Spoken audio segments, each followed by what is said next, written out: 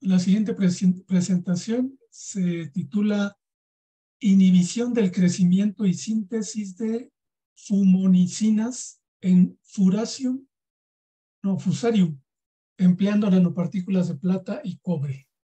Tengo entendido que lo presenta la doctora Alma Vázquez Durán. Bienvenida, doctora.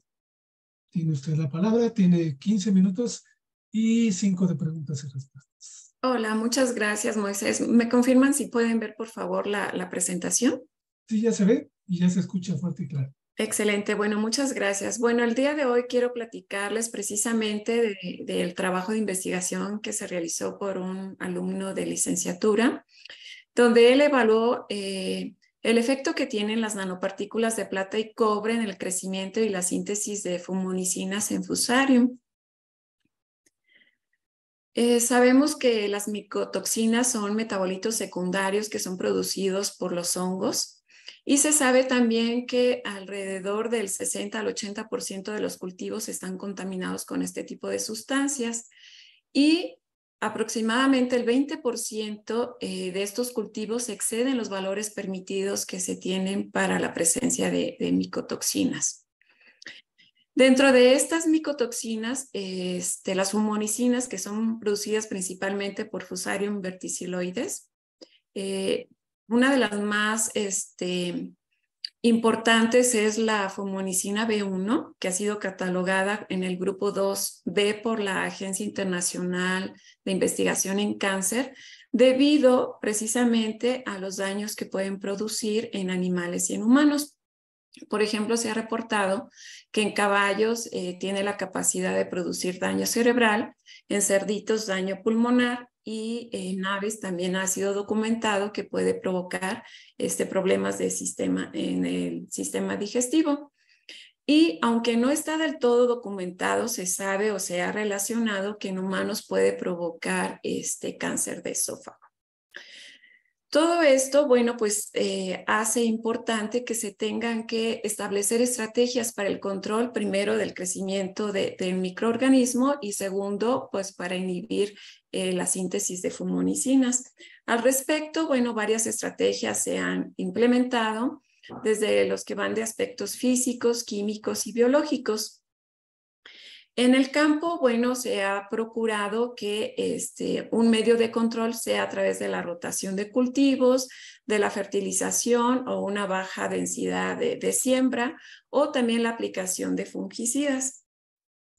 Ya que se tiene establecido este microorganismo, el hongo se ha considerado como un hongo de campo. Una vez que se ha establecido, bueno, pues entonces hay otras estrategias a nivel almacén para su control, que van del control de la temperatura, de la humedad y también la aplicación de fungicidas como el captán y otros otro, este, otro tipo de, de sustancias químicas pero eh, algunos han desarrollado cierta resistencia o también suponen riesgos a la salud. En este sentido, bueno, pues la nanotecnología surge como una alternativa, no como la única opción, sino como un apoyo para el control de este tipo de microorganismos, eh, asumiendo que la nanotecnología ha sido definida como eh, el control y la manipulación de la materia a, escala de 1 a 100 nanómetros. Y dentro de los materiales que han sido utilizados precisamente por su actividad antimicrobiana, pues tenemos a la plata, que es conocida, cobre también y el óxido de zinc. Sin embargo, uno de los grandes retos de tener, eh, por ejemplo, nanopartículas de cobre es que son fácilmente oxidables, por lo que se han desarrollado varios métodos para obtener eh, partículas de cobre estables a la oxidación. Y bueno, el trabajo, algunos de los objetivos de este trabajo fue precisamente uno. Primero, establecer condiciones de síntesis que permitieran la, eh, la obtención de nanopartículas de cobre estables a la oxidación. Y un segundo objetivo fue hacer un estudio comparativo de la actividad eh, que tienen estas sobre el crecimiento de, Fusarium eh, verticiloides y, también de la producción de, fumonicinas. Para eh, alcanzar estos objetivos, la metodología seguida es esta. Primeramente, se hizo la síntesis de nanopartículas eh, consecuentemente su caracterización y finalmente se llevaron a cabo los ensayos en microbiológicos donde se determinó la concentración mínima inhibitoria, se evaluó el efecto que tienen estas partículas sobre la estructura del micelio y se realizó la cuantificación de las fumonicinas. Eh, en el primer objetivo, que era la síntesis de nanopartículas, bueno, se establecieron las condiciones de síntesis y eh, se encontró precisamente que los mejores precursores para obtener nanopartículas estables fueron el nitrato de, plata y nitrato de cobre. El agente estabilizante utilizado fue goma arábiga y finalmente el agente reductor que nos permite precisamente el cambio de iones metálicos a átomos fue la hidracina. Una vez que se obtuvieron las nanopartículas metálicas, bueno, se procedió a la caracterización de las mismas, donde una característica principal de los materiales metálicos a escala nanométrica es que presentan eh, la resonancia del plasmón superficial, la cual puede ser caracterizada por espectroscopía de absorción UV visible. Entonces, se hizo primeramente la caracterización del plasmón y eh, Después se realizó la, caracterización del tamaño, de la concentración y de la carga superficial con diferentes técnicas como análisis de seguimiento de partículas, em, microscopía electrónica de transmisión y finalmente potencial Z. Para los ensayos microbiológicos, bueno, se determinó la concentración mínima inhibitoria siguiendo los lineamientos del CLSI para hongos este, filamentosos. La estructura del micelio se realizó a través de la mm, incubación durante 14 días y la cuantificación de fumonicina se hizo por la técnica de eh, cromatografía eh, de líquidos de alta resolución con un detector de fluorescencia.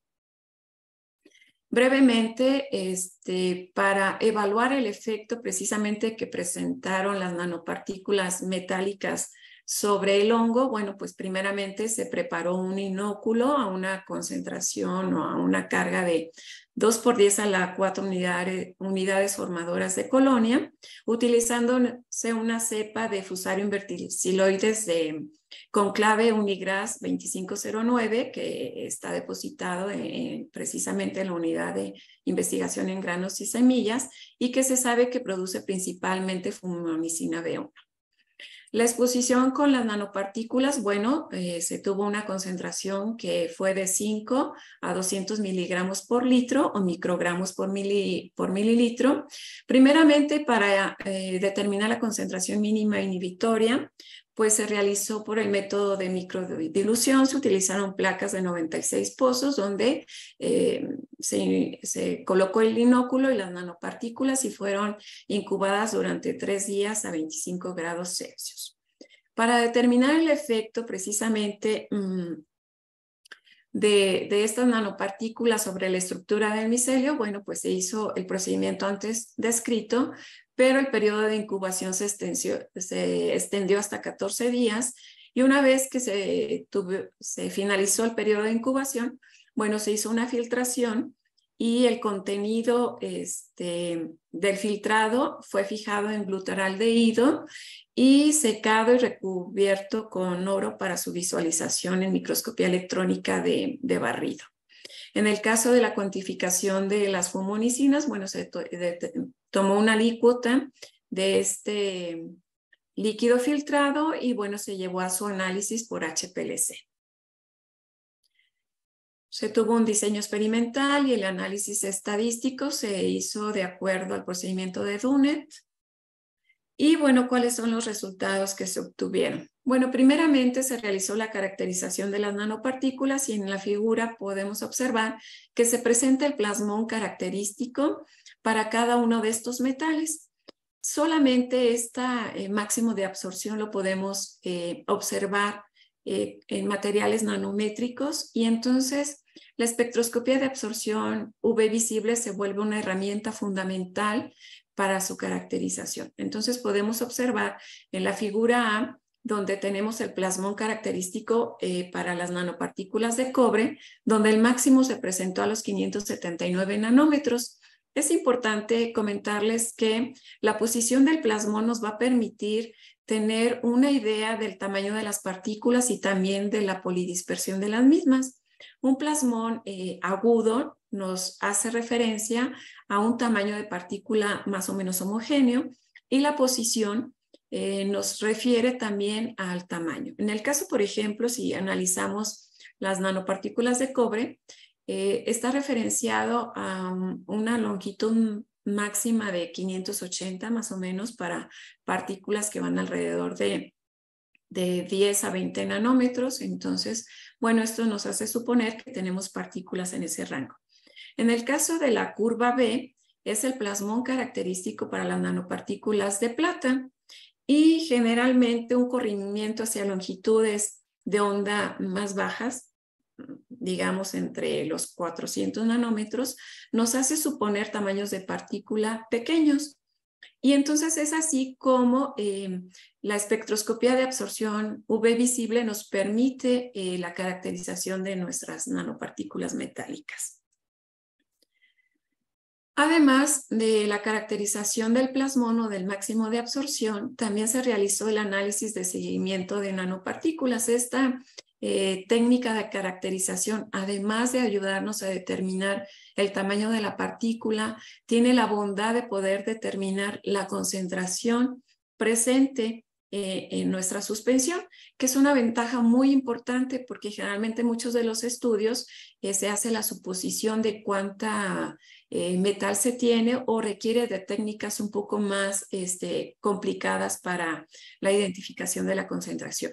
Esta técnica pues, nos permite relacionar precisamente qué concentración de partículas por mililitro se obtienen. Los resultados nos arrojan que el tamaño promedio es alrededor de 120 nanómetros para las nanopartículas de cobre y que la concentración este, fue de 9.49 por 10 a la 11 partículas por mililitro y en el caso de las nanopartículas de plata, el tamaño promedio obtenido por esta técnica es de 152 nanómetros con una concentración que va alrededor de los 2.3 este, por 10 a la 12 partículas por mililitro.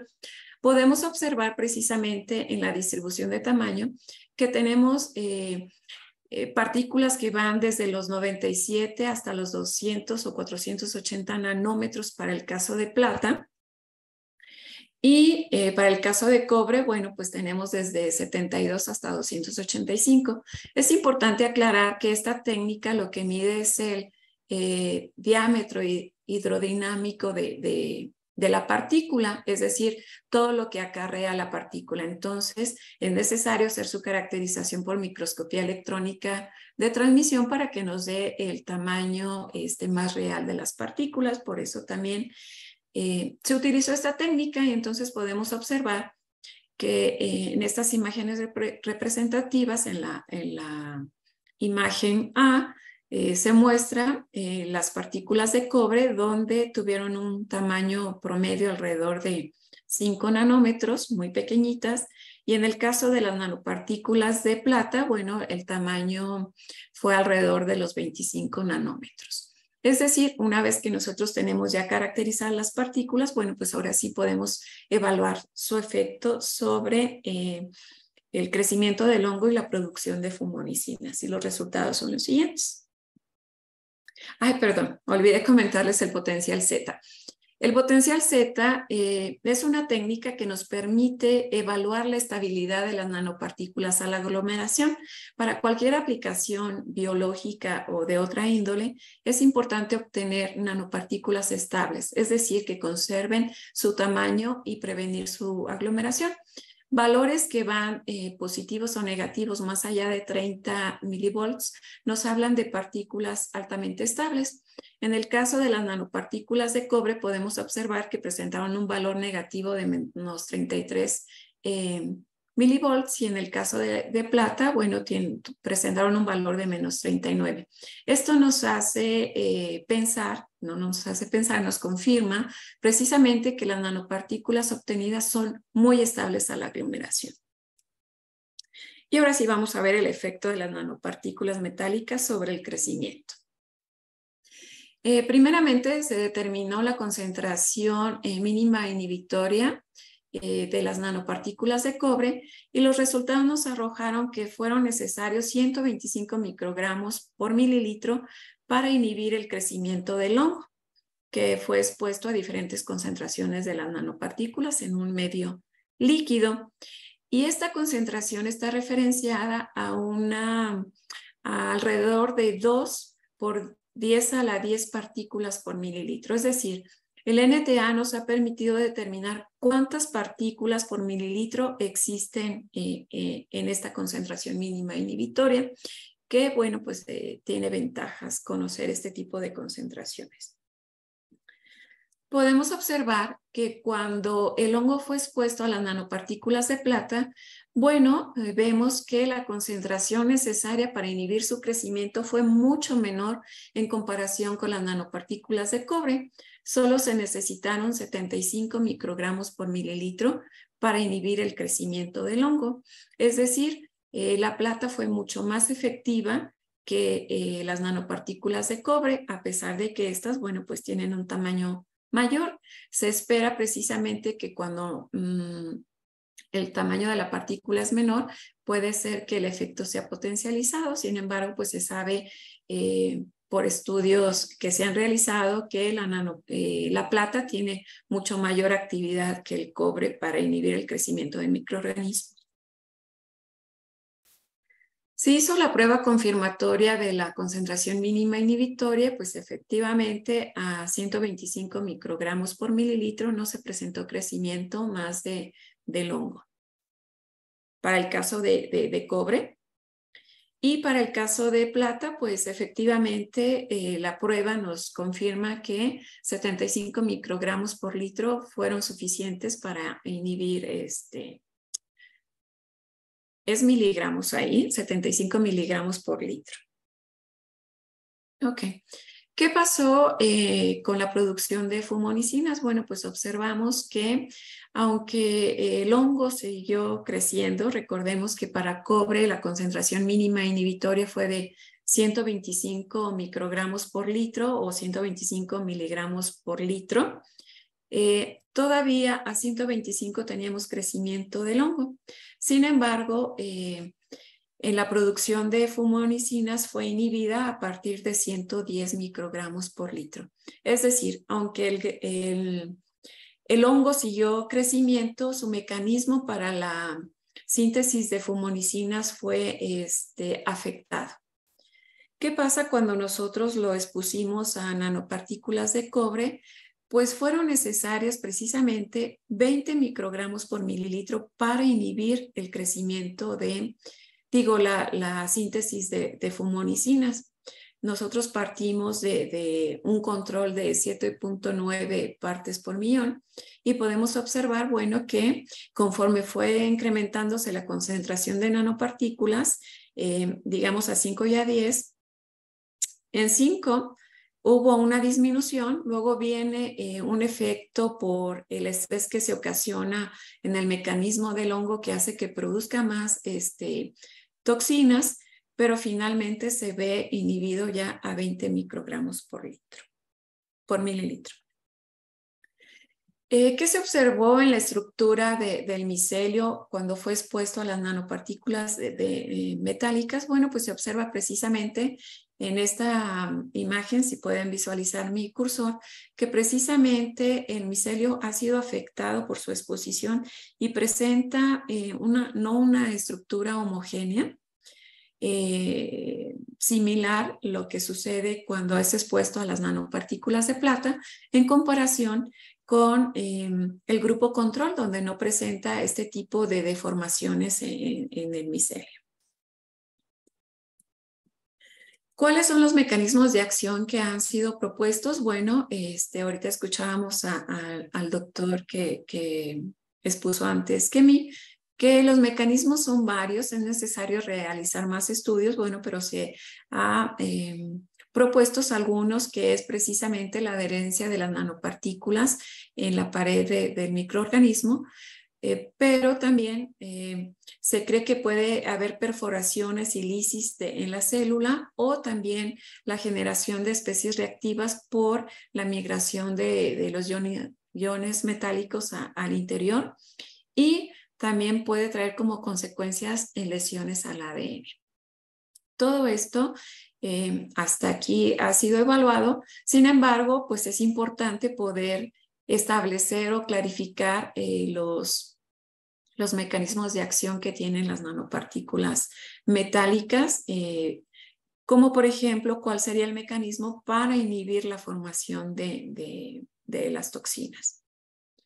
Entonces, eh, como conclusiones, pues eh, mm, las condiciones de síntesis establecidas en este trabajo permitieron obtener nanopartículas de cobre con tamaños pequeñitos, alrededor de 2 a 5 nanómetros, y en el caso de la plata oscilaron de 6 a 20 nanómetros con una morfología este, cuasi esférica, utilizando goma arábiga como agente estabilizante e hidracina como agente reductor.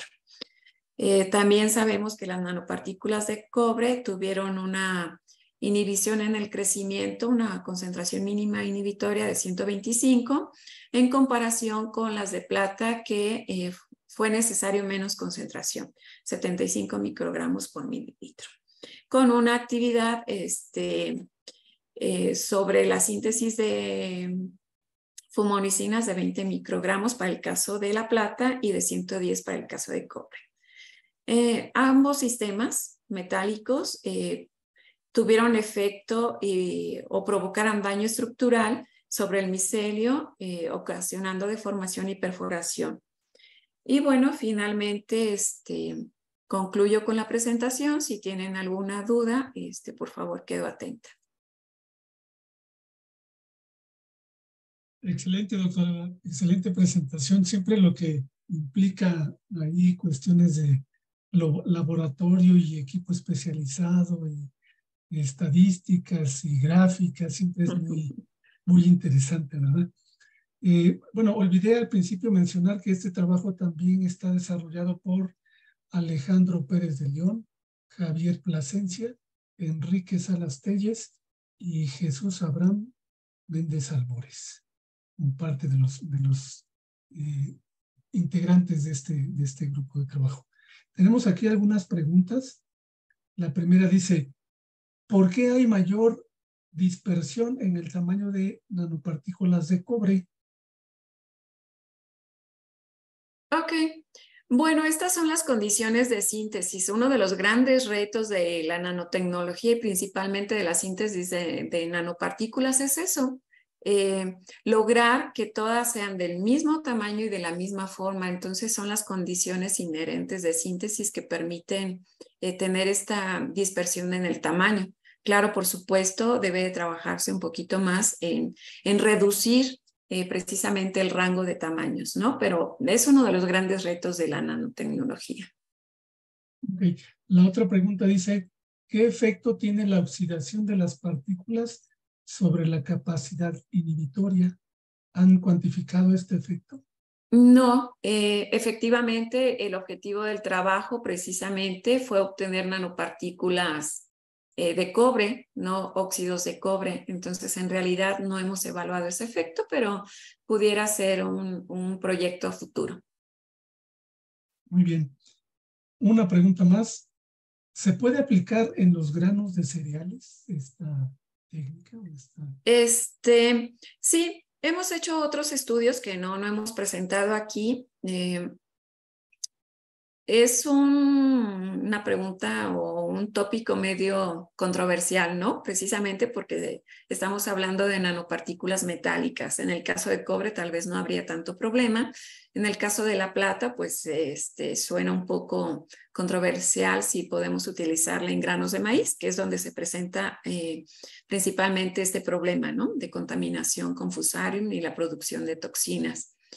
Eh, hay estudios que se han hecho precisamente en la cantidad que puede ser eh, utilizada en alimentos. O sea, ya hay estudios y ya hay regulaciones. Y entonces, eh, con base a estos estudios que se han realizado, yo podría decir que sí se pueden aplicar a granos de maíz. Lo importante es la dosis que se debe de aplicar para la inhibición del crecimiento del hongo. Excelente. Y una última, a lo mejor de esta es de mi cosecha. Sí. Bueno, yo soy un poquito este, ignorante en estos asuntos de la nanotecnología y este tipo de cosas. Eh, pero, por ejemplo, la medicina tradicional, la farmacología tradicional, pues a lo mejor viene el concepto ese de cuanto baste para, ¿no? Eh, a la hora de, de ah, digamos, suministrarlo a través de alguna tableta o a través de alguna cápsula, pues como que tiene uno más identificado eh, la moda, el modo de dosificación. Pero en el caso de, la nanotecnología, ¿cómo se suministra, más allá de, del laboratorio, por ejemplo, que ya son las pruebas y ese tipo de cosas, a la hora que utilizamos la nanotecnología para eh, alguna, algún tratamiento en animales o en humanos, ¿cómo se suministra este tipo de nanotecnología? Sí, bueno, hay varias formas de poder suministrar dependiendo del modo de aplicación. Por ejemplo, si es en caso de aplicación tópica, pues podría ser a través de ungüentos o cremitas o geles, ¿no? En el caso de que tenga que ser este, administración oral, pues puede ser a través de utilización de matrices poliméricas, por ejemplo, o algunos otros vehículos. ¿ok? Y en el caso de inyectado, pues también eh, se utilizan algunos vehículos para llevar este, este tipo de, nanomateriales. Es muy importante qué tipo de, nanomateriales van a ser suministrados, ¿no? Por ejemplo, en el caso de plata, de cobre, sabemos que han sido ampliamente utilizados, por ejemplo, ahora con lo de la pandemia, eh, sabemos que hasta los ponían en cubrebocas, ¿no? Por ejemplo, en el caso de cobre, ¿no? O lo ponían en superficies. En el caso, por ejemplo, de cultivos, eh, ya hay estudios y algunos estudios también los estamos realizando en el laboratorio. Uno sería, por ejemplo, en el recubrimiento de las semillas, recubrir las semillas con estas este, nanopartículas. Otra es aplicación foliar, ¿ok? Y en el caso, por ejemplo, ya de granos, pues puede ser por aspersión. Excelente. Pues muchísimas gracias por su presentación, doctora. Y le haremos llegar por correo electrónico la constancia correspondiente. Parece que eh, ha sido eh, beneficiada tal vez, ¿no? Es un honor que sea eh, nuestro cierre de nuestro evento del día de hoy y de nuestro evento completo de, del Colegio de Técnicos Académicos. No, hombre, pues muchas gracias por el honor. muchas gracias, doctora.